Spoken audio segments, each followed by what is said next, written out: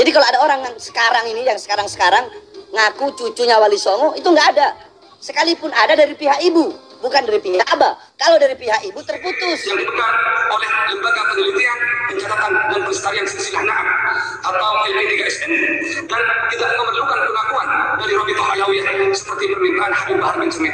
Hal ini dikarenakan satu, Robito Alawiyah tidak punya data keturunan Wali Songo dan surat edaran Maktabda ini nomor 39 garing MDRA garing 6 Romawi garing 2020 tidak menyatakan keturunan Wali Songo terputus.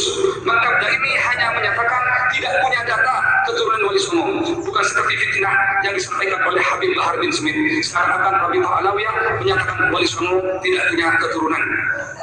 Dua, karena leluhur Wali Songo yang tercatat di manuskrip Nusantara dan berdasarkan hasil DNA sampel beberapa cucu Wali Songo yang ini didapat bahwa Wali Songo bukan merupakan bagian daripada Alawi. Songo bukan berasal dari Hadramaut Yaman. Maka pernyataan Habib Bahar bin Smith dan oknum habaib yang menyatakan Wali Songo tidak mempunyai keturunan laki-laki adalah tidak benar dan merupakan fitnah yang tidak berdasar dan tidak perlu dipercaya. Demikian maklumat ini kami sampaikan atas perhatiannya kami sampaikan terima kasih.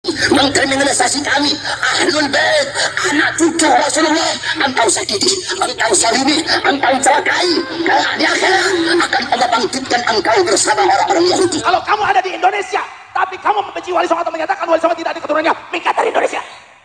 Betul? Tidak punya tahu diri.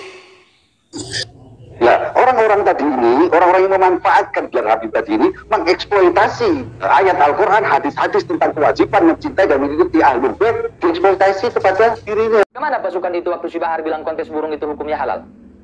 Ke mana Pak Rizik dan gerombolannya yang jutaan umat?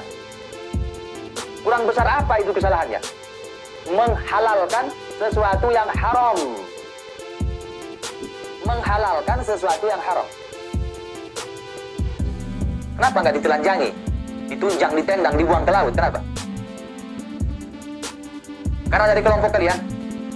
Kenapa nggak di demo? Misalnya yang paling gentol, garda terdepan dalam hal-hal yang seperti itu, yang katanya nahi munkar, itu Pak Rizik itu. Garda terdepan. Siap berjuang. Siap bela Nabi.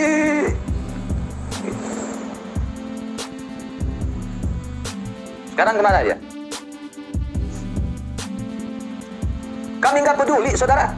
Siapa pun orangnya, kalau sudah menistakan agama, kalau sudah menistakan Nabi, kalau sudah menghina Nabi, kepala jadi kaki, kaki jadi pala, walau mati bersimbah darah, kami rela untuk Rasulullah.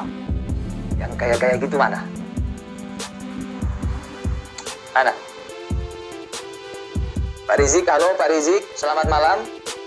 Dengan Pak Rizik, saya Muhammad yang 29 saya Muhammad yang 29 Loh, Habib kok ngaku cucu ke 28? Ana waktu itu baru bangun tidur. Yang bener Ana 38, bukan 28. Ana yang ke 38.